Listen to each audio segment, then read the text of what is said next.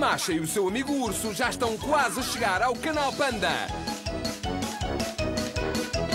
Masha e o urso, em dezembro, no canal Panda.